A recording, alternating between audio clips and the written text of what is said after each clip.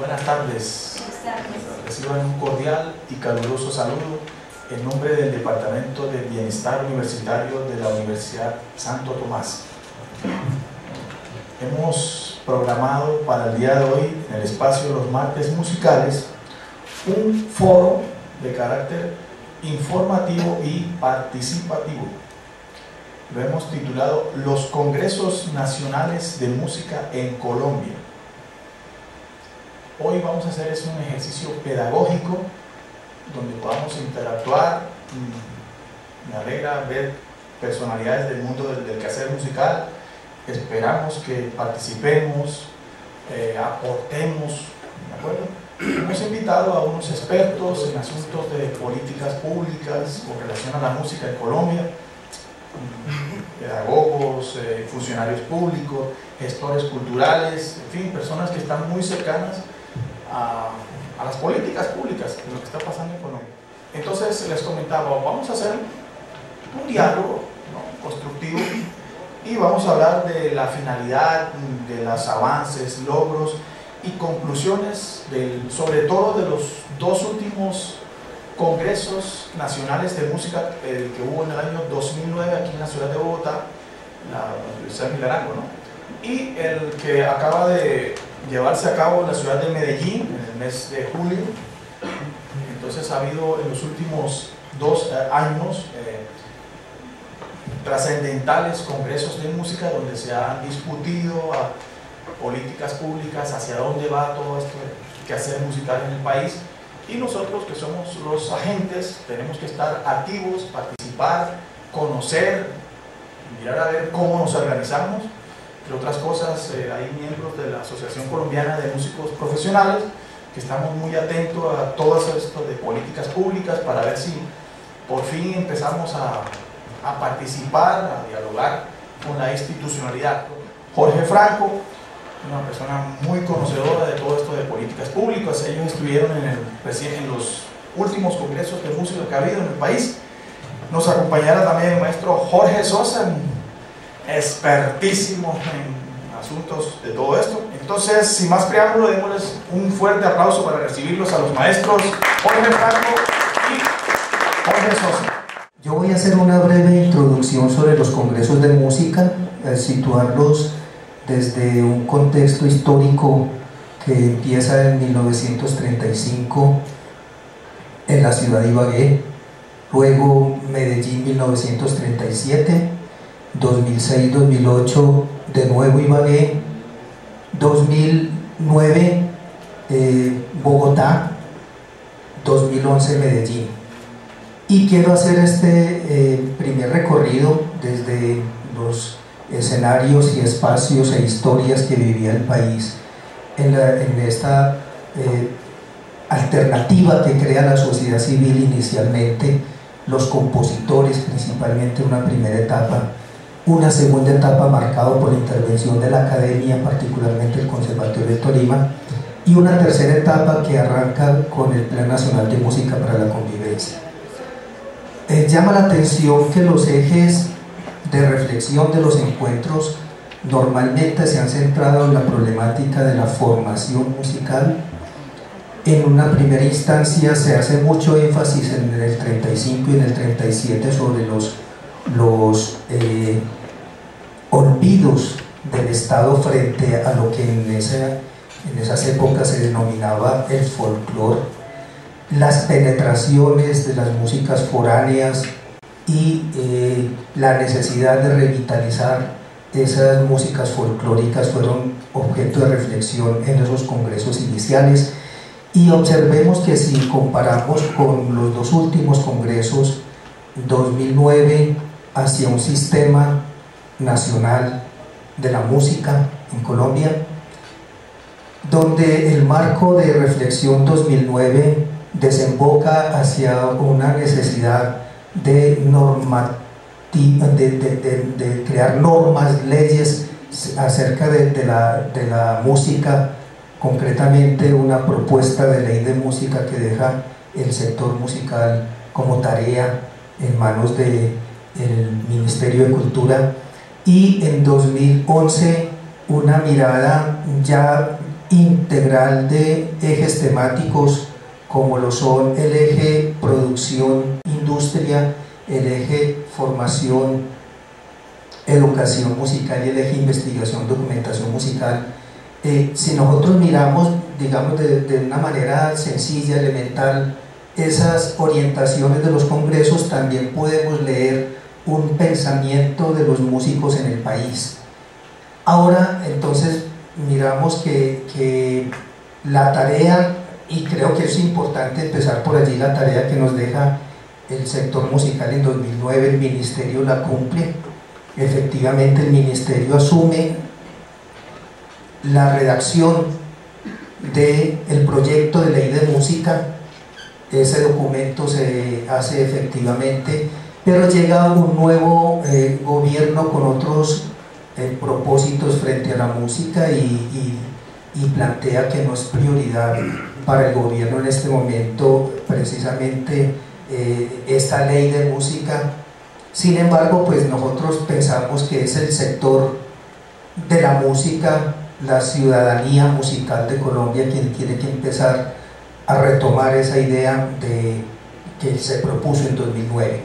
Entonces, eh, las preguntas, ¿para qué son los congresos de música? La finalidad de los congresos, los avances de los congresos, las conclusiones de, estos congresos. Yo, me, me, voy a referir básicamente 2009-2011. ¿Para qué son los congresos? En general los congresos son momentos, espacios de encuentro entre los distintos actores del campo musical, en este caso en Colombia. 2009 se convoca desde una intención de estructurar un sistema nacional de la música. Una de las conclusiones más importantes de ese congreso es que existe el sistema de facto.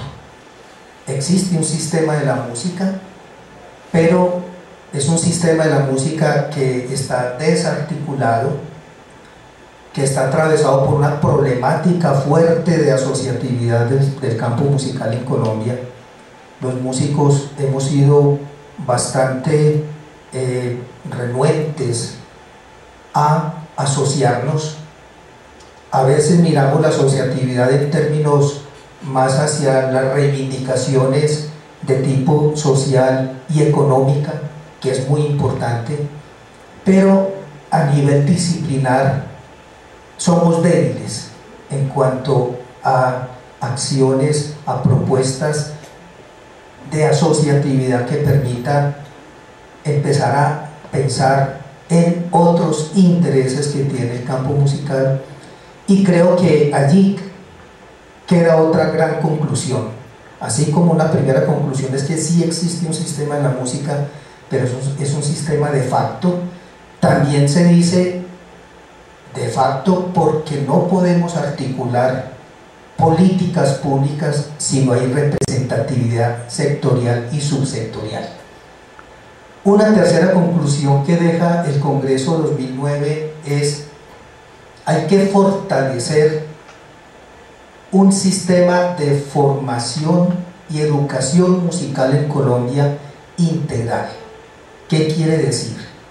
El país eh, tiene un problema en la formación musical porque es una formación musical que arranca en la educación superior. El país no tiene políticas para la formación musical en primera infancia, ni ha desarrollado políticas para la educación musical básica y media. Muchas razones o muchas situaciones lo explican. Una de ellas, la tarea que debió haber hecho educación que se propuso desde los congresos de la década de los 30 no se ha hecho. Y esa tarea que compete inicialmente a educación la tiene que asumir y cultura empieza a asumirla desde el Plan Nacional de Música en 2003.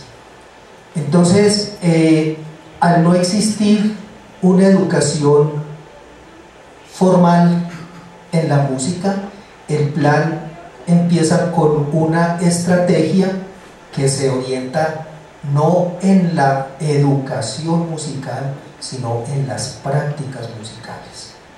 El plan entonces habla de que su objetivo es la práctica, el conocimiento y el disfrute de las músicas en, todas sus expresiones y modalidades.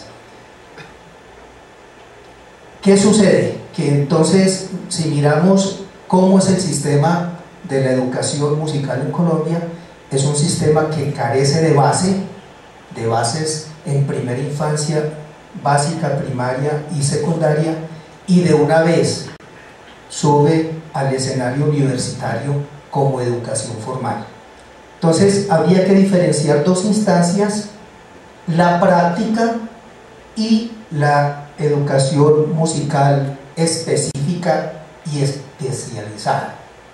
Pero además, cuando llegamos a la educación formal universitaria, eh, también encontramos otro vacío y es que se queda en el pregrado y el país carece de alternativas de educación musical posgradual.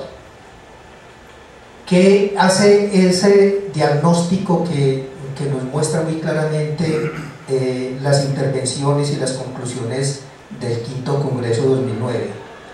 Hace que el plan empiece a reflexionar sobre la estructuración de una educación musical articulada e integral. Quiere decir esto que propendemos por programas para primera infancia y empezamos a proponer estrategias para desarrollar educación o formación o educación musical mejor posgradual. En el pasado congreso, en el sexto congreso en Medellín, eh, una de las ponencias en, eh, de experiencias significativas en el eje de investigación documentación estuvo a cargo del Instituto de Investigaciones Estéticas de la Universidad Nacional, el profesor Jaime Cortés expuso la maestría en musicología que posiblemente empiece a funcionar en 2012 y eso ya empieza a trazar una posibilidad, una alternativa de formación posgradual en Colombia. Y a la vez eh, una de las experiencias significativas que se plantean eh, también en este congreso es primera infancia.